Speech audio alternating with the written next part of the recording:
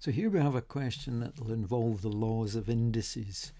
We've got an algebraic expression n squared raised to the power 3. We're multiplying that by n to the negative 10 and we're asked to simplify that giving our answer with a positive power.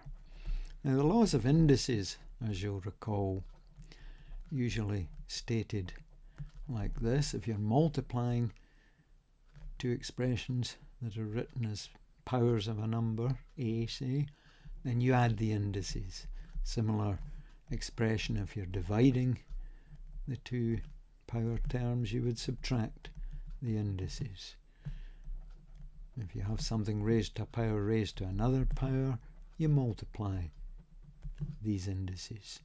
And we also have one that says if we have a to a negative power, it's the same as 1 over the same expression with the positive power and a to the 0 is 1 and so on.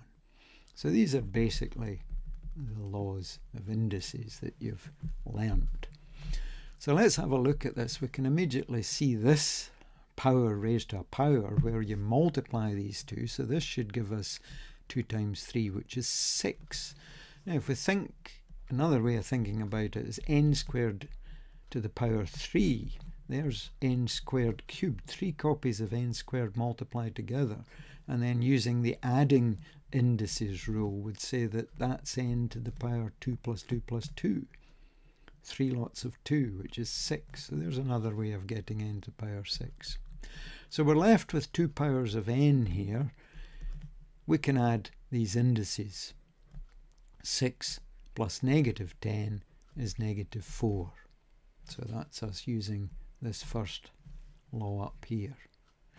And we now recognize this negative power law, which is if you have a negative power, 1 over the same thing with a positive power. So that's 1 over the same thing, but with a positive power. So that's 1 over n to the power 4. So there's your answer with a positive power uh, n.